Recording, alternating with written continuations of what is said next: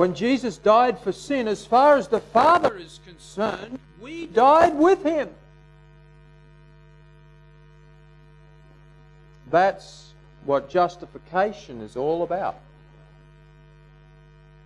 When Jesus rose from the dead, he guaranteed our future bodily resurrection because we are in union with him. Where he goes, we go.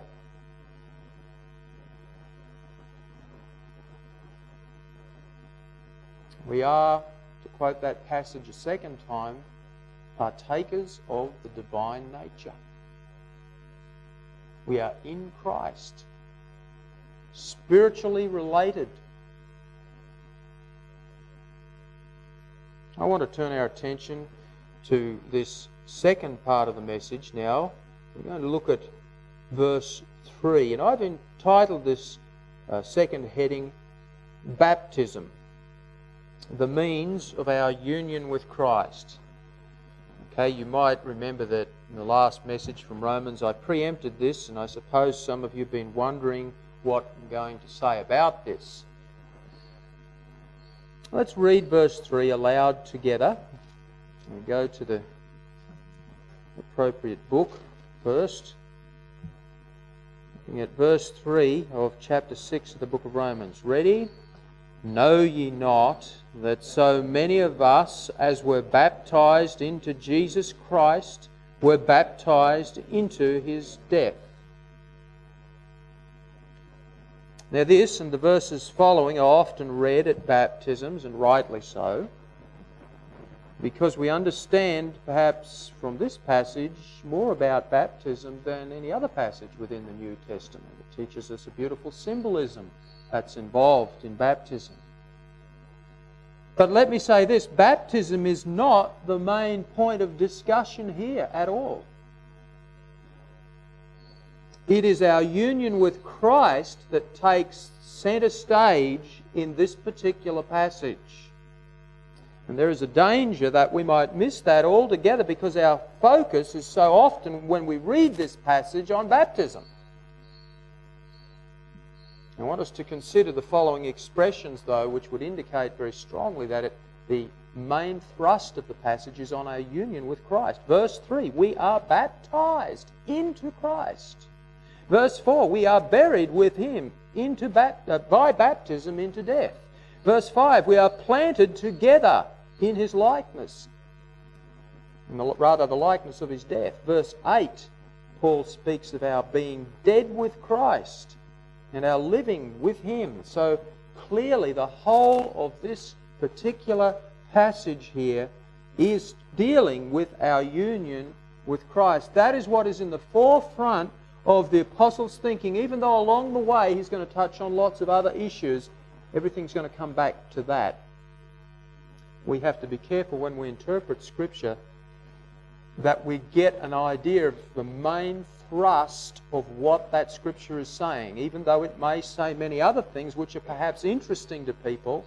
If we don't know exactly what the main thrust is, then we can misinterpret the passage. Now, having just established that baptism is not the main point here, it seems a little ironic now to have to spend some time looking at baptism in detail. You see, the fact is that there are some things that are difficult to understand about baptism as it occurs here. Verses 3 and 4 clearly speak to us of being baptized into Christ's death. I want us to look at that again. Know ye not that so many of us as were baptized into Jesus Christ were baptized into his death. Therefore, we are buried with him by baptism into death. Okay, that much is clear. We have been baptized into his death. But the purpose of that is given in the second half of verse 4 that, or so that, or for this purpose, that like as Christ was raised up from the dead by the glory of the Father, even so we also should walk in newness of life. That's the purpose for our union with Christ's death.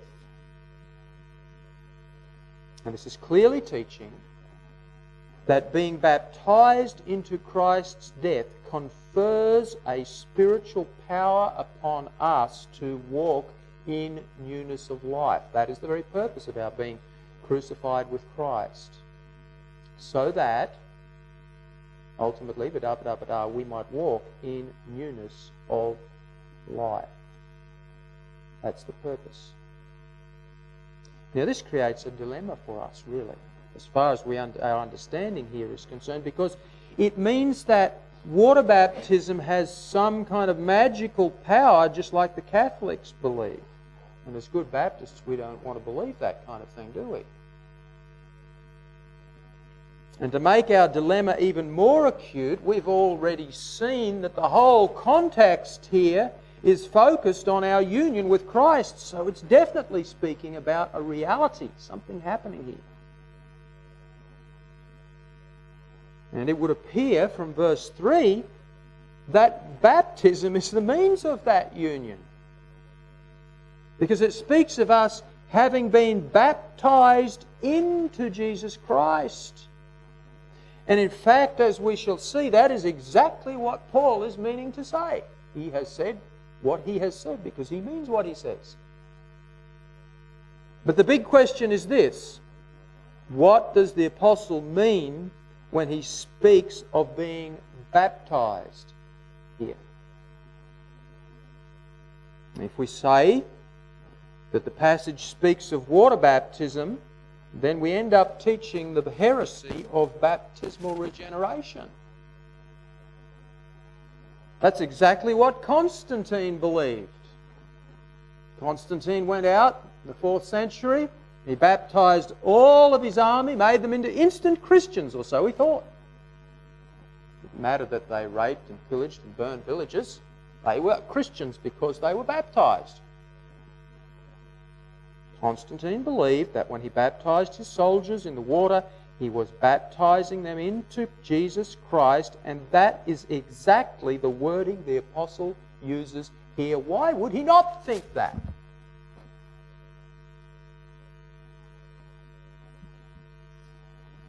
But is Paul teaching really that water baptism has the power to save here?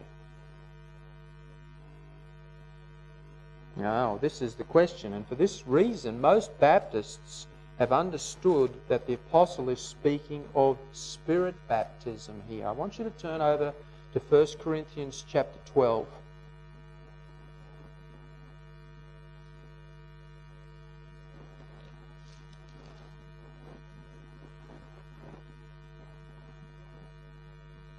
Verses 12 and 13. For as the body is one and hath many members, and all the members of that one body, being many, are one body, so also is Christ. he's speaking here about the body of Christ. Is every individual who is in union with Christ, that is, who is saved, speaking about the universal church here. Look at verse 13. For by one Spirit are we all baptized into one body. Okay. It is the Spirit baptism. Now, this is not anything that takes place as the Pentecostals think when you have their hands laid upon you or when you come up out of the water and gabble in tongues. It's not what it's talking about. It's speaking about the salvation experience when we are when we come into union with Christ, when we are made part of the universal church, the universal body. We can use that expression universal church. Universal is probably not uh, an acceptable term in some circles. But I know that if in the book of Ephesians it talks about the fact that the body is the church very plainly in one particular passage. And whether we be Jews or Gentiles, whether we are bond or free, and have been made to drink into the one Spirit. It's all believers who are genuinely saved, born again by the Spirit of God. This expression is used here that they are baptized by the Spirit into the body of Christ. Okay, well, let us go back to our passage in Romans chapter 6. And we see now that this is what's happening at the point of salvation.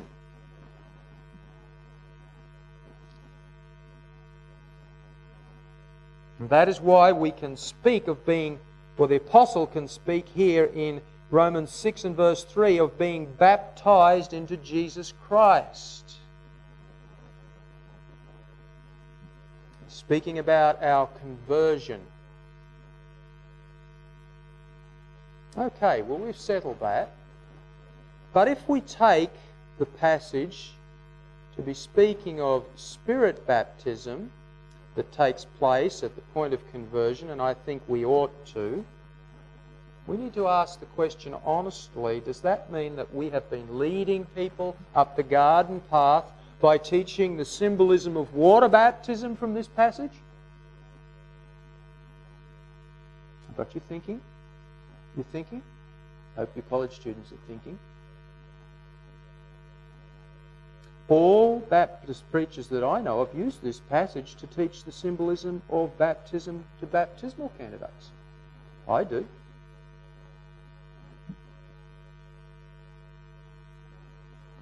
The fact is that most who believe in full immersion baptism would see the outward symbolism of water baptism explained in this passage. On the other hand, people like the Presbyterian brethren, who believe in sprinkling instead of full immersion baptism, those who would defend that position of sprinkling, those who would totally deny that there's any pictorial illustration of the death and the burial and the resurrection intended in water baptism here, they argue that since this passage must be speaking about spirit baptism, they realize that the same as we Baptists do. Uh, they don't want to go into baptismal regeneration any more than you or I do. And we are agreed on that point. They say, well, since that is the case, then it is a mistake to see any allusion to water baptism whatsoever here. They've got their bases covered, they're not worried. And by teaching this, they effectively undercut the correct biblical position which really sees a beautiful picture of the believer's union with Christ's death and resurrection. And it's illustrated here by immersion in water and re immersion from the water. That's what the Bible teaches. Some of those who sprinkle will even admit that full immersion baptism was the thing that the early church practiced. That's very hard to disprove.